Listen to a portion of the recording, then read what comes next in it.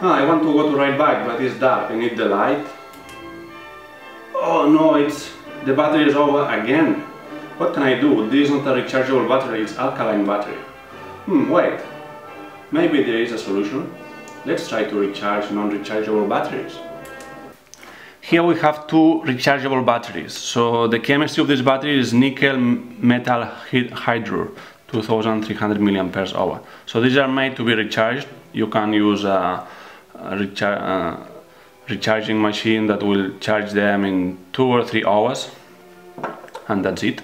But if you take a regular battery like alkaline, alkaline, which is rechargeable, and you put in a regular charger, they will explode because uh, they are not made to receive the quantity of current that these are uh, able to. But if we recharge alkaline batteries much slower, they can be recharged without any danger.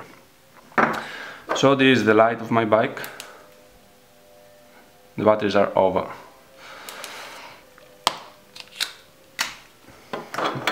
These are cheap alkaline batteries. Usually when they are over, we have to throw them away. But what happens if we try to recharge them? They will explode. But there is another solution. Here we have a wireless phone we use to talk at home. And it uses rechargeable batteries the same as this chemistry, nickel metal hydrure batteries.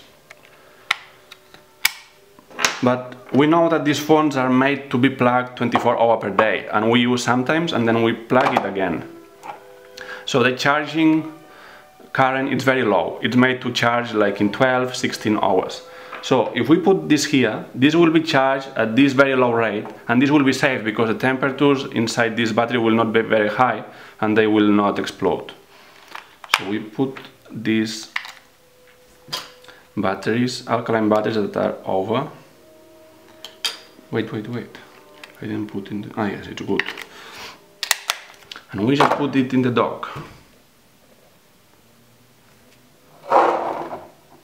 We see they are receiving current. So we just leave this for one day and after one day these batteries will be charged and voila, this is how to recharge non-rechargeable batteries in a safe way. I hope this is useful. See you in the next video. Bye.